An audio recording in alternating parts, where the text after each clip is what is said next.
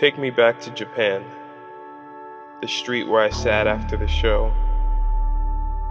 I didn't know I was drowned then. Take me back. Back before I knew what it was like to fear your own age. I always saw time as a blessing.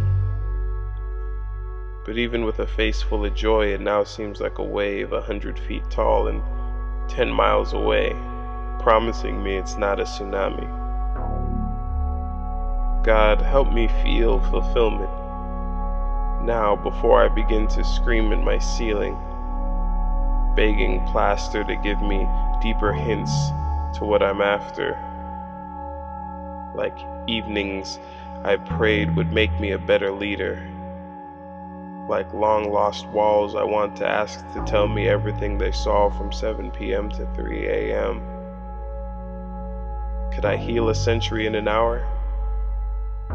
I suppose we're meant to make peace with the universe.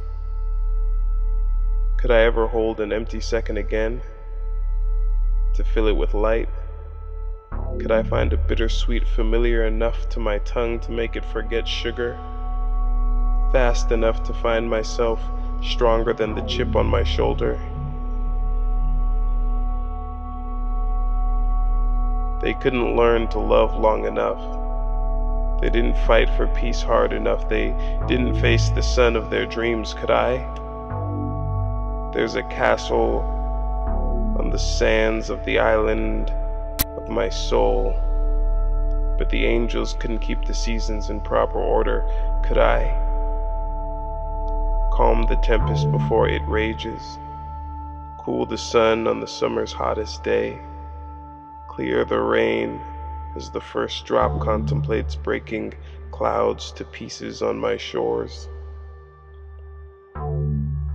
Not a single day could survive itself. Could I?